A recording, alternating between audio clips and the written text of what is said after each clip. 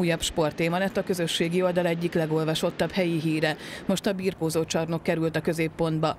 A leendő sport létesítménnyel kapcsolatban a helyi szövetség elnöke is kommentált írt.